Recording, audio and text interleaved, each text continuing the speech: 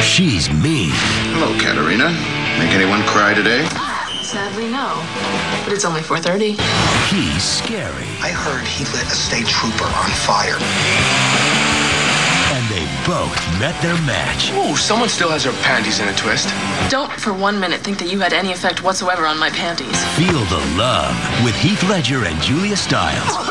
In 10 Things I Hate About You, tonight at 8 on TBS. My whole life has been a complete waste of time. And there's so much more to go. As 2006 comes to an end, a new year of opportunity begins. You know, I'm thinking about getting a yo-yo. I could see that. Take dancing lessons. Do I stink? You're beyond stink. Organize your life. You got more cow here than here. And work on your figure. You want me to wear a bra? Meet the bro. Laugh in the new year with 12 straight episodes of Seinfeld. It all starts tomorrow night at 7 on TBS.